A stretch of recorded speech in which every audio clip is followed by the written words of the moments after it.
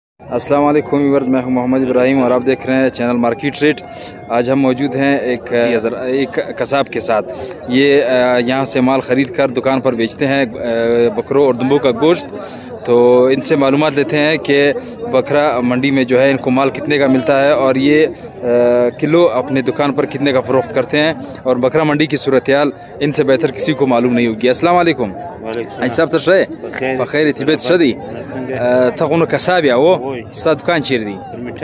میټا چوک باندې ستا دکان دی اچھا دو دکان دی د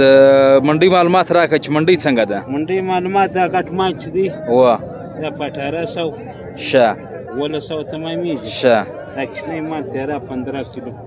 دا په 2000 تمامېږي دا کښنی پسونه چې دی د غوښه په 2000 تمامېږي او دا غټ پس چې دی په 1100 روپۍ غوښه تمامېږي ش د دې قیمت څو دی دا غټ پس دا وس دا غټ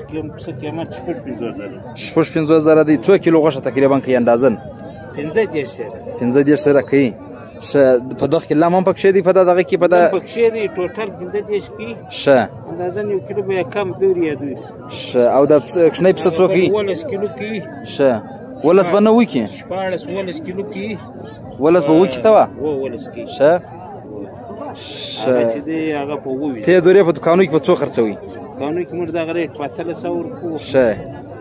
دا غټ په 1100 خو کښنه په 1300 غټ په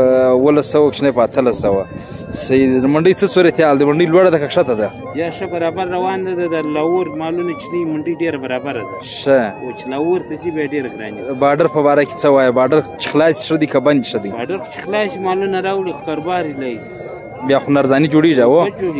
په اختر کې به مالونه پر دغه بای کې څه ګرانیږي یا ګرانیږي کباډر بند نورم ګرانیږي نورم ګرانیږي